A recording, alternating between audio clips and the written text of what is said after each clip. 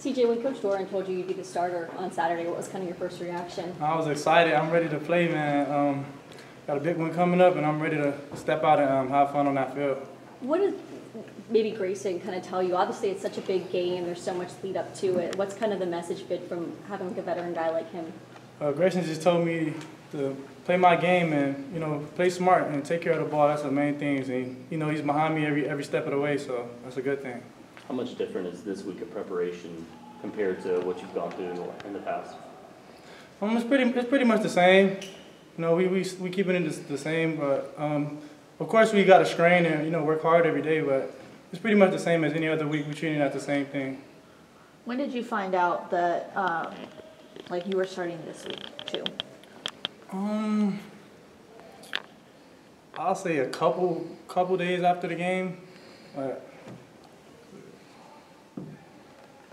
what you know, this environment is arguably what like top five most tough places to play. It is a day game, so we'll, we'll, give you that. But just kind of, what are you expecting? What are some of your strategies to kind of cope with that? I'm expecting to go into Death Valley with hearing the, hearing the crowd and hearing everybody like screaming, try to get into our heads. But I'm expecting it. We practicing for it, so I'll be I'll be prepared and ready for it when I get there. You talked a lot about it after the game a little bit, but how much did your high school career playing on that level kind of help, you know, prepare you for this? Yeah, moment? that helped a lot, especially uh, playing at Chaminade. We had a couple games like this, so and I, I know how to handle it and you know stay level-headed throughout the game and, and finish the game strong. So um, Death Valley just another another one of those games. This big crowd and it's the same what I used to do in high school. So. When you went back and looked at the film from the Louisiana Tech game, how would you kind of assess the way that you played? Um, I felt like I did a great job. Um, main thing was to forget about the past and just keep moving forward. And I, I love the way I did, the way I handled myself with the pressure and everything in the second half. I'm, I'm looking forward to play whole four quarters at Clemson the same way. Coach Doeren talked about the poise that you had. I mean, how much do you feel like that grew throughout the game, and, and how much do you feel like that helped you going into this game as well? Yeah, it grew it grew a lot. Um, I actually seen those guys on defense making plays, so once I made a play, like my, my confidence just kept growing, and I kept making more and more plays. So, um, no, it was just like a domino effect with those guys. So, and we just kept making plays. That's all I gotta say. As far as the experienced guys around you, how much have they helped you kind of rally for this game? Yeah, yeah. Um, those guys, uh, our leaders, our seniors, they're doing a great job. But uh, letting me know it's just a normal game, man. Just play your game and stay focused and like take take everything serious. Just about the details this week and every little thing matters. That's what it kept instilled in my head. How much do you think getting some reps in in the Tennessee game, seeing kind of the size, the speed that they play with, maybe prepped you for this weekend? Yeah, actually prepped me for last week. Um, Tennessee game, when I got those a couple reps, man, I got the feel of the game. I, I, I didn't get tackled in a while since high school, so like I got a feel of that in Louisiana Tech and Tennessee game. So it's really prepped me for this week as well. So how has the in helmet communication helped kind of this transition, just having Coach Roper in your ear a little bit, you know, out there?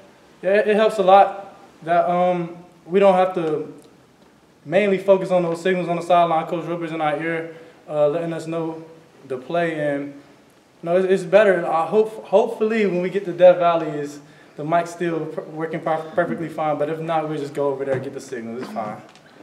I see you looking at the tablet some with Coach Roper yeah. there on the bench. Mm -hmm. um, how does that change really help a, a quarterback, quarterback like you? Yeah, it's actually when we get those tablets and seeing those like couple plays in that whole drive, it helps a lot because now we can see what we could adjust to and how many what like the plays we can make going into the next drive. So it's, it's really helpful to have those tablets on the sideline.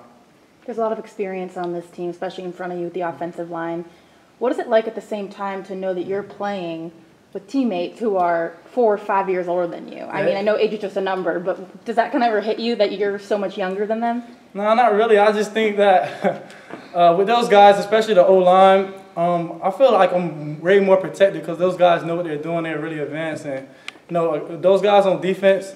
It's great to have those guys because they're they're leaders and they go tell me what I should do and what what I should not do and how to like stay focused and detailed and keep keep everything orientated. So. Um, I think the best thing to do is for me is just to keep listening to those guys so everything go right for the rest of the season because they know what they're doing. They're vets. Coach said that you were super excited when you found out at halftime that you were going to be playing the rest of the game. Is there a moment in the second half where you feel like everything kind of clicked? Where maybe you finally felt 100% comfortable? Not to say you didn't going on, but is there a moment where you were like, okay, I can do this? Yeah, after that first that, that first dig route to uh, Kari in the middle of the field, like on that first drive coming out the half, that's so- solidified. Like just keep making plays because it felt good to make that, that first play. I just want to make many more plays like that. So Did you have any family at the game Yes, I this did. past weekend? Yes. And are they coming down to yes, Clemson? Clemson as well. Do you know how many you're going to be there? Probably five, six. Does more seeing, question, uh, does seeing your, your, yourself score a touchdown, you know, uh, you know, watching, I guess, experience uh, uh, throwing, throwing some of those explosives, um, does that take the pressure off? You know, you did it once, you're, you're going into a tough environment, but you feel like, okay, I know I can for sure. Yeah, definitely scoring a touchdown and like throwing throwing passes and, and completing a pass. It definitely took some steam off of me, and I want to do that same thing going into Clemson. That first play, I feel like that first good completion I have is gonna keep rolling after that. So it's great to have those completions, and hopefully I'll score again this week.